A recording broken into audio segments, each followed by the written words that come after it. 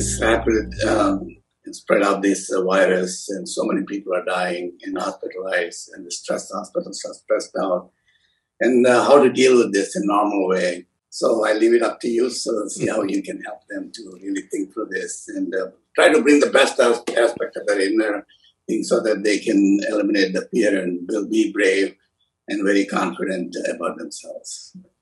Well, I'm not trying to belittle the present problem. Yes, it's a massive problem. The situation in India particularly is grim. Now, the choice that we have is this.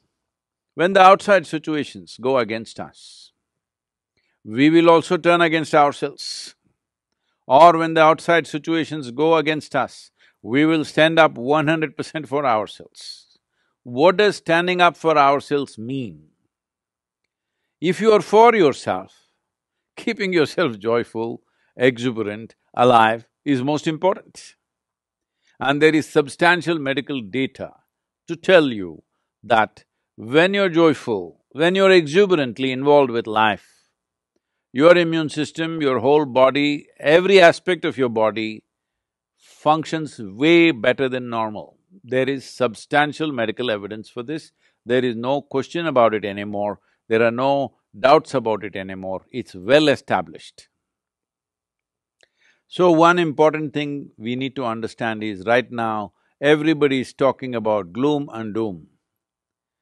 The logic behind this is, so many people are miserable, so let me also join that and be miserable. This is not a solution. You must make up your mind whether you want to be a part of the solution or part of the problem. If ten people are miserable and you also join them in their misery, you are part of the problem. If ten people are miserable, if you can in some way create a lighter atmosphere for them and for you, then you are part of the solution on one level.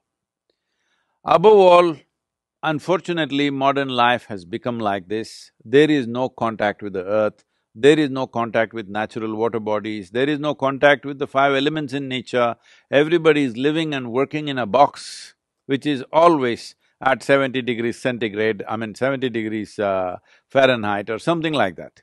Everybody in controlled temperatures, in boxes, we are living. You may call it an apartment, you may call it an office, but it's actually a box.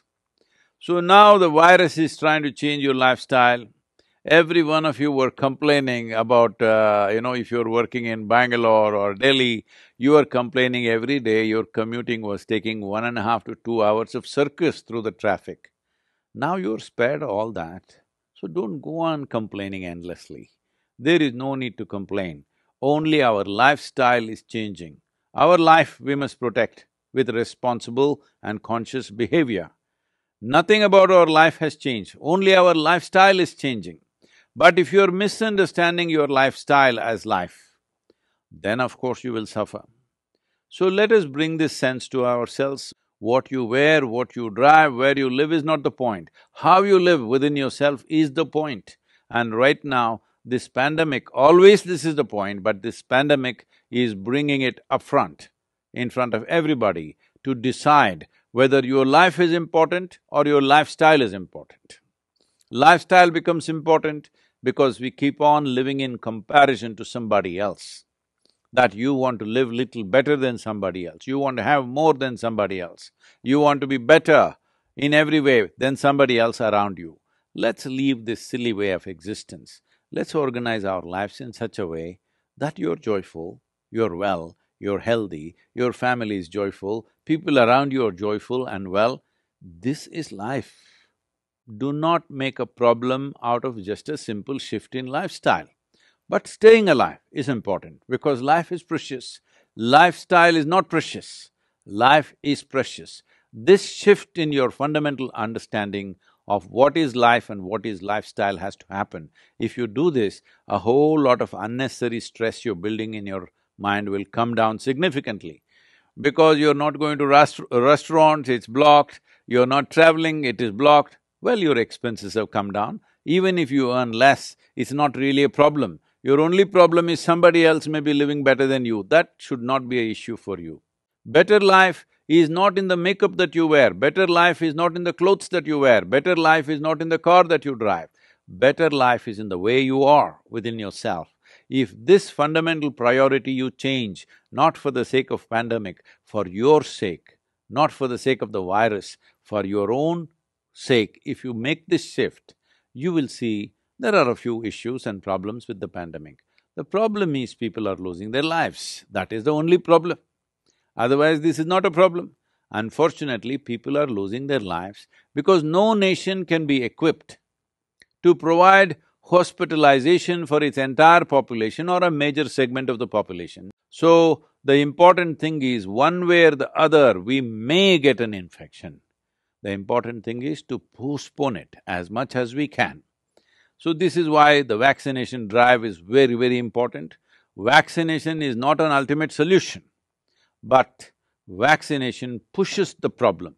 By pushing the problem, we will not overwhelm the medical institutions and medical infrastructure. With this, fatalities can be brought down significantly, people need not lose their lives. But the fundamental responsibility that all of you must take is, you must take this commitment. I will not get infected. Everything that I have to do for this, I will do. But if it so happens somehow I got infected, I will ensure that it does not go to one more person. This much commitment you must take. Why I am saying this is, the significance and the simplicity of this pandemic is this. It is not being carried by mice, it is not being carried by mosquito, it is not being carried by some other bird or animal or something. This is carried by human beings. Because we are the only sole carriers for this virus. The simplest solution is that we maintain some protocol so that we don't spread. If you are not the spreader, that's it. If every citizen takes this step, that's it, it's done.